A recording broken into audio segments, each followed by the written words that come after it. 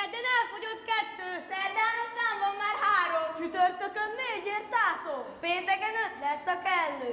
Szombaton